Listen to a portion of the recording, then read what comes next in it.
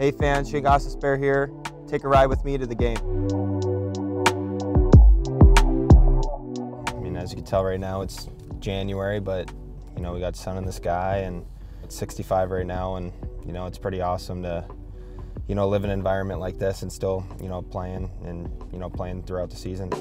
Pre-game routine is just depends if we pre-game skate or not. If I have to go to Glendale or you know we go to Exos down pretty close to my place in Scottsdale. You know after that I I go to this one Italian place called Andreoli's. I go there and you know get my pasta whatnot. I used to be the first guy at the rink and this year I took a different approach. I just go at an easier pace. Not the craziest routine. It's a routine that works for me.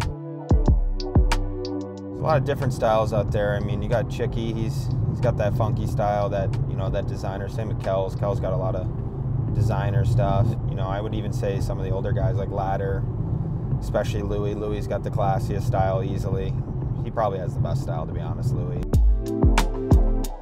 You know, personally for me, I'm having a pretty good year. You know, coming here, having a full reset, and you know, just playing hockey again, having fun, and you know, doing what I love to do, and making it fun every day to go to the rink. I mean, it's just a whole different situation, different team, and different players, and you know, I'm really enjoying it, and it's uh, it's been a lot of fun.